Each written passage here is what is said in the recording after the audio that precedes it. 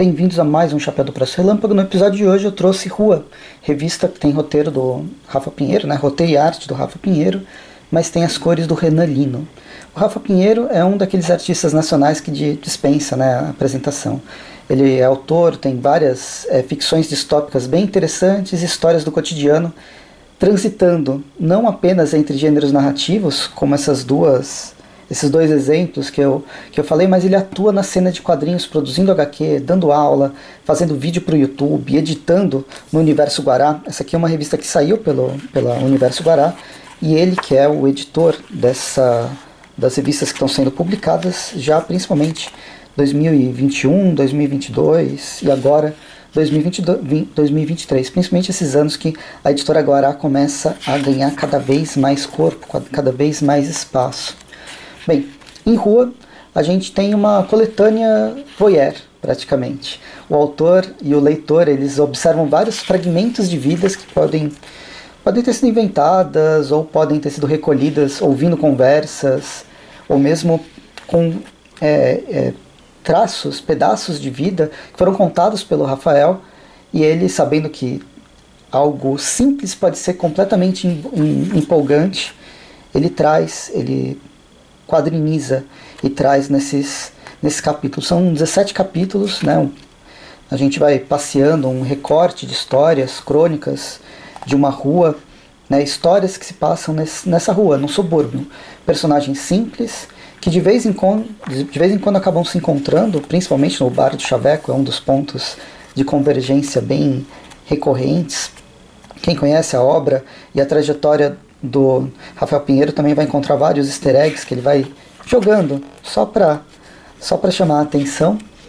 E, bem, a gente acaba se conectando, é, inclusive, com um passageiro invisível, que é essencial para ela, que inicia a história e encerra com essa a história com esse personagem, mas a invisibilidade dele também acaba sendo uma crítica social que a gente tem que começar a repensar e fazer essa reflexão sobre a nossa própria vida, sobre a relação que a gente tem com as pessoas que a gente não precisa conhecer, mas que a gente passa pela rua e que são importantes para o convívio urbano, né, para o convívio de uma cidade.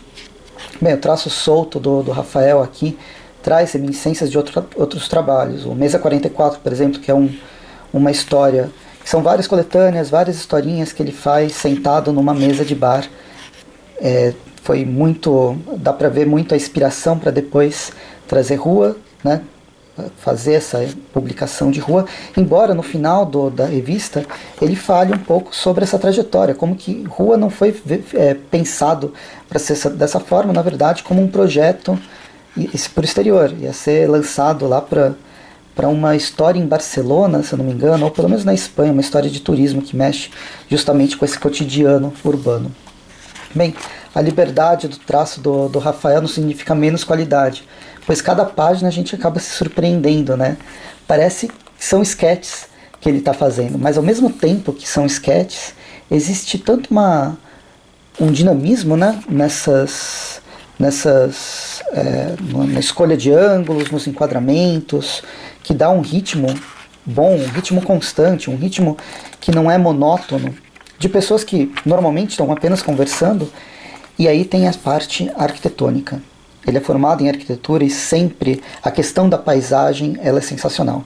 No caso, essa paisagem urbana que a gente consegue ver detalhes dos prédios mesmo nessa nesse esquema de sketch que dão praticamente dão vida a essa a história que ele quer contar.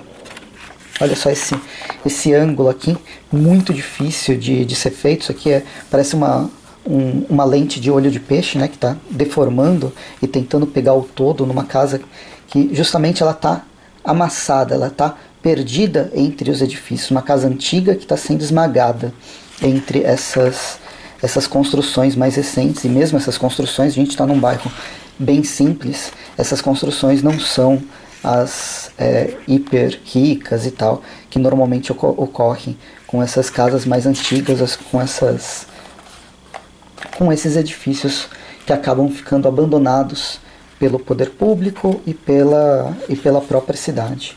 Bem, aí é isso, a gente vai acompanhando e tal, e é a, cada uma dessas histórias, elas acabam se interligando em alguns momentos, elas são retomadas de personagem para personagem, e vamos conhecendo a vida dessa rua com várias, várias pessoas que são até é, conhecidas do, do próprio Rafael, se não ele mesmo em alguns locais.